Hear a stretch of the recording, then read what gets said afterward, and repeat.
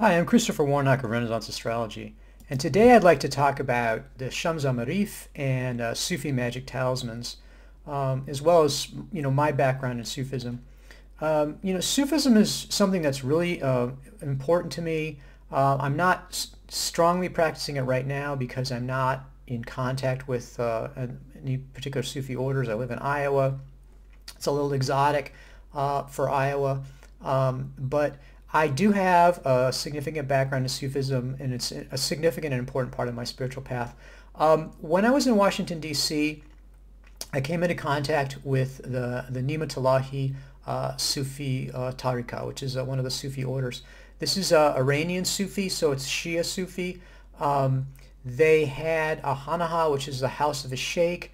Uh, the sheikh is sort of like the spiritual leader, sort of like a guru in uh, Washington, D.C. Um, so uh, I was initiated uh, as a darvish and then participated in the sama, which is the sort of musical ceremony. Uh, this consists of um, playing sitar, drumming, and then chanting the zikr, which are the names of God and, and other types of chants. Um, pretty incredible opportunity. Um, the um, the musicians that were playing for us were some of the finest uh, in the world. This Iranian uh, classical music basically is Sufi music.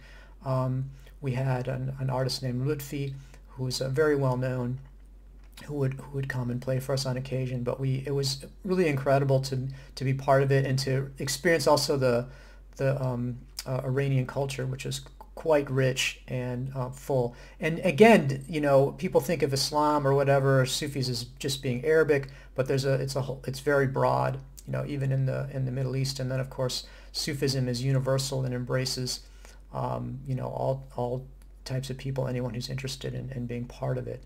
Um, so, um, you know, I um, unfortunately there's you know a lot of internal politics and things like that, and I, I basically took the experience that I had there was about as far as I could go. I don't speak Farsi, I don't speak Arabic, um, and there wasn't a sheikh who was permanently present who I was able to develop a, a relationship with. So um, uh, nevertheless, it was uh, my experience there has deeply touched me and continues to be an important part of my spiritual practice and um, you know even on a, on a daily basis.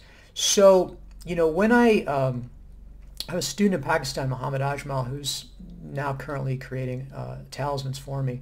Um, and, you know, I was very happy to work with him again because I have a very positive uh, view of, um, you know, Sufism and, and sort of magic and things like that from the Middle East. And he's someone who has a lot of experience um, with uh, uh magic talismans and, um, and then also using this Shams al-Ma'arif, which is and other traditional sources. So that was something I was very excited to get involved with and while we also do regular uh, Renaissance style talismans, we also um, are doing lots of uh, Sufi magic talismans um, as well. So it's interesting because while you know we've heard of Picatrix, which is an, an Arabic source, um, the Shams al-Ma'arif, which means the sun of wisdom, is a much more widely known and much more used book of magic in the uh, in the Middle East. Um, incredibly popular.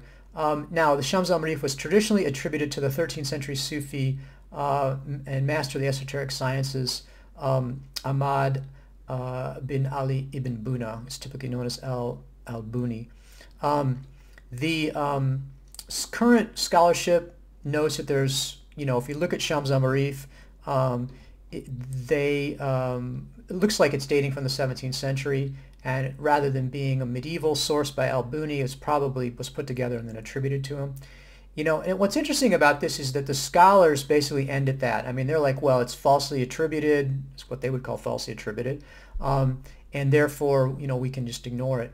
Whereas in fact, this is pretty normal that, you know, these various compilations or collections would be traditionally attributed to somebody. Um, and, you know, that they took that less seriously as the, the scholarship because what they're interested in is actually using it and how much wisdom it contained and what sort of practical use could be made of it. Um, so the uh, the practical use of, uh, of Shams al-Ma'arif is, is incredibly wide and, it, and, it's very well known. And it's something I've been able to have, you know, sort of fragmentary translations of. You can look on my website. We've got a couple different translations and then some discussion uh, in depth of it. You can take a look at that on, on the Renaissance Astrology website. So, you know, like Picatrix, the Shams al-Ma'arif is, is, not just a recipe book of talismans. Um, in fact, really talismans are not the primary purpose of it. Um, really what it, the Shams al-Ma'arif is about is explicating this esoteric wisdom um, that's expressed through an understanding of the cosmos as being created, composed, and maintained by the One, whether you want to call that Allah or God or whatever, um, through the divine speech. So this is very much focused on um, speech as well as uh, letters and alphabet.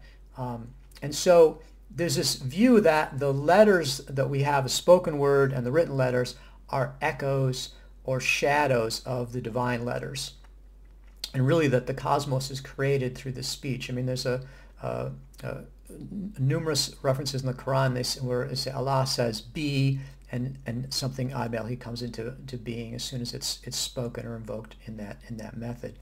So um, while we can understand the, the nature of the cosmos through this, it's very much like Kabbalah.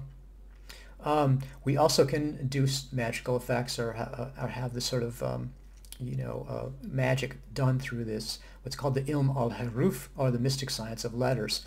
Um, so really what we're dealing with here is sort of, sort of constituent um, you know uh, elements of reality uh, in this particular tradition.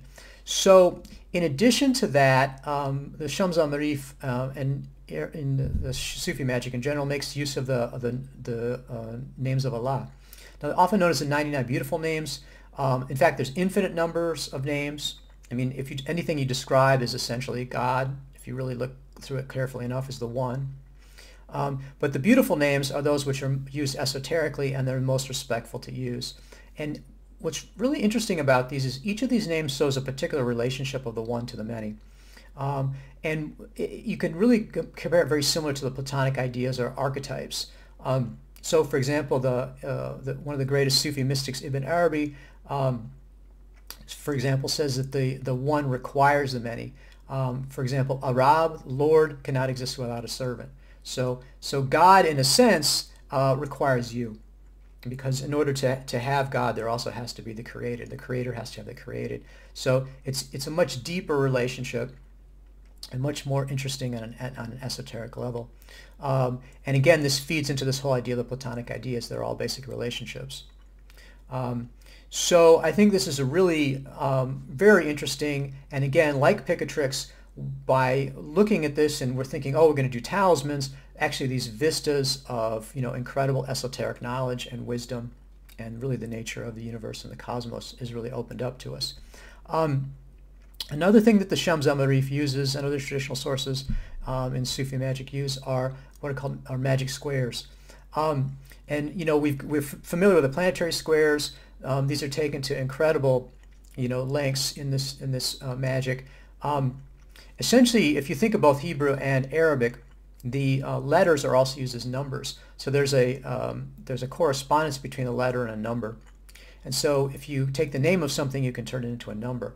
And there's incredible, um, you know, esoteric uh, use of changing these around and, and permutations and really beyond my knowledge, but very interesting and um, exciting a way to work with uh, with this astrological. And then what they'll do is combine all these things. So we've got Quranic verses, which are very powerful. So again, the, the Quran is like the Torah. It's seen as a, uh, again, an archetype of the cosmos. And um, so letter magic, Quranic verses, and then the names of Allah. And then the timing is all done astrologically. And so that gives us um, a way to orient ourselves. And so the, the power is sort of multiplied because you have all these different sources of essentially cosmic power and esoteric power, and then also the astrological power as well. Um, and, and a further something that's really interesting is that because there's 28 letters of the Arabic alphabet and there's 28 uh, mansions of the moon, uh, the letter corresponds to the mansions are, are particularly uh, influential and, and, and, used in this, um, this Sufi magic. Um, so still, you know, the, the Shams al-Ma'arif, you know, is definitely a Sufi text. Um, while it's got a lot of use talismanically, like I said, it's giving incredible information and wisdom um, and it really exemplifies this, this uh, Sufi wisdom. So it's really been exciting for me to, to work with it. And, you know, it was one of the things that's opened up to me um, from you know making these talismans. Now this science of letters, the Ilm al-Huruf, um, as well as talismans also used spiritually, um, plays an important part in um, Sufi ritual and then chanting as I was mentioning, and then also uh, can be used to chant to reach higher states of consciousness. And the, the Sufi master F.A. Ali en-Senosi says, um, just as the vocalized letter of the alphabet issue from the breath of the human breather, so the existent things within the cosmos come from the breath of the All-Merciful, Nafs al-Rahman.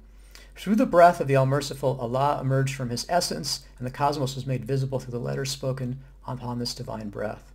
So the place of articulation of letters within the human breather corresponds to the preparedness of the mutable and fixed entities. Um, so we can see this incredible macrocosm and microcosm, that there's a microcosmic use of letters, and they're not just conventional, they're not just made up, but these have a, a very strong spiritual power that uh, is connected to the, the letter, written letters that connect to the, the ultimate archetypal letters, which are the constituents of the, of the cosmos. So, you know, we can use them talismanically, magically, but we can also use them as a, a way to Gnostic union. So again, it's, I think it's very exciting. We have a, a wide variety of different Sufi magic talismans. Um, you know, I really encourage people to take a look at these. Um, there's there can be a certain amount of people are like prejudiced against them or something, This is something they're worried about them, but it's like these are really positive.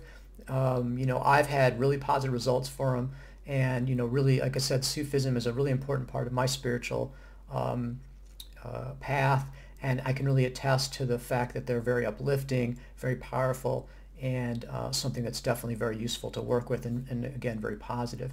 So again, I hope you take a look at the uh, Sufi magic talismans that we have available on the Renaissance Astrology website.